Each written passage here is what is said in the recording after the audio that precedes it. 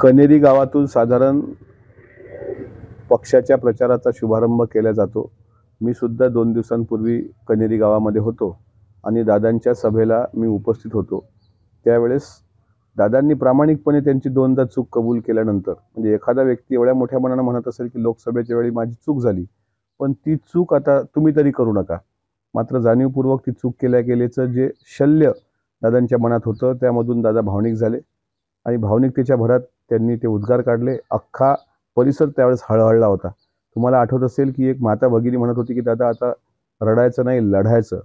अशा प्रकारे मला असं वाटते वडीलधारण आणि नंतर दुसऱ्या दिवशी ज्यावेळेस कनेरीला आदरणीय पवारसाहेबांची सभा झाली त्यावेळेस पवारसाहेबांनी ज्या पद्धतीनं दादांची मिमिक्री केली ते माझ्यासारख्या त्या परिवारात जगलेल्या वाढलेल्या सामान्य कार्यकर्त्याला अजिबात आवडलेली नाही. ती फार वेदनादायी आहे. कारण शेवटी पवारसाहेब हे काही एकटे जितेंद्र आव्हाडांचेच बाप नाही आहेत. ते आम्हा प्रत्येकाचे बाप आहेत. जरी आम्ही राष्ट्रवादी काँग्रेस पक्षात दोन गट पडले असतील तरी पवारसाहेबांना आम्ही आमचं दैवत मानतो आम्ही आमचा बाप मानतो. पण बापाकडून मुलाची मिमिक्री ही अपेक्षित नसते. त्यामुळे साहेबांनी ज्या पद्धतीने मिमिक्री केली तुम्हाला असं वाटते आमच्यासारख्याला प्रत्येकाला वेदनादायी आहे? आणि म्हणूनच एक मुस्लिम भगिनी ज्यावेळेस रडून डोळ्यात पाणी आणून म्हणते की दादा आम्ही तुमच्या परिवारातले लोक आहोत त्यावेळेस विचाराची नाती किती महत्त्वाची असतात. हे यावरून सिद्ध होते. जोगेंद्रसाठी अशा प्रकारे साहेबांनी मिमिक्री करणं हे टाळायला हवं होतं. म्हणून साहेबांना आमच्या नईम फराजांच्या शब्दात एवढंच म्हणावं वाटतं दिलो के बीच में दिवारे उठाकर क्या हुआ हासिल?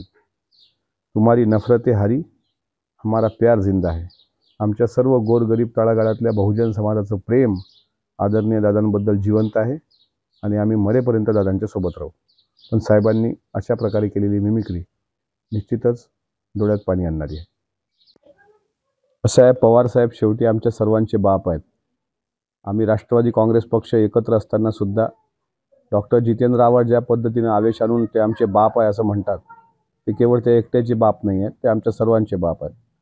आणि वडीलधारी व्यक्तींनी एखाद्या मुलावर म्हणजे जर साहेब बाप असतील मी मुलगा आहे कनेरीच्या सभेमध्ये मी स्वतः साक्षीदार आहे दादांनी काही बेगळी अवसान आणलं नव्हतं. किंवा असं काही त्या बा बालमित्र मंडळाच्या अध्यक्षासारखी काही नक्कल केली नव्हती. दादाला ते भरून आलं होतं ऊर भरून आलं होतं की त्यांच्या आईचा शब्द का पाळला गेला नाही. त्यानंतर त्याच कनेरीमध्ये दुसऱ्या दिवशी साहेबांनी दादांची मिमिक्री करणं.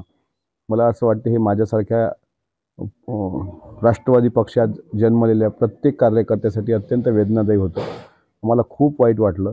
गेल्या दोन दिवसापासून मी सोशल मीडियावर पाहतोय. साहेबांच्या या भूमिकेचं कोणीही समर्थन केलं नाही. शेवटी दादा जर हा पुत्रासारखे आहेत तर आम्ही पण तुमच्या मुलासारखे आहोत. बाप कधीच मुलाची मिमिक्री करत नसते. कालही दादा एका चॅनलवर बोलताना थोडे भाऊक झाले होते. त्याच्यामुळेच मी ट्विट करून म्हटलं की दिलो के बीच में दिवारे उठाकर क्या हुआ हासिल? दिलो के बीच में दीवारें उठाकर क्या हुआ हासिल? तुम्हारी नफरते हारी हमारा प्यार जिंदा है। हे नईम फराज नावाच्या शायरने ज्या दोन ओळी लिहिल्या त्या मी ट्विट केल्या. त्याच्यामुळं खूप वेदना होत आहेत. साहेबांनी असं करायला नको पाहिजे होतं. शेवटी अजितदादांबद्दल सर्वसामान्यांच्या मनात एक भावना जागृत झाली की दादा ठीक आहे. तुमच्या घरात वडीलधारी व्यक्ती असतील किंवा तुमच्या आप्तस्वकी असतील ते तुमची टिंगलटवाळी जरी करत असतील तरी मात्र आम्ही परिवार म्हणून कार्यकर्ते त्या दादांच्याकडं पाहतो. आम्ही जोपर्यंत जिवंत आहोत तोपर्यंत दादांची साथ सोडणार नाही. पण निश्चितच एक त्या परिवारातला म्हणून माझ्यासारख्याला खूप वेदना झाल्यात.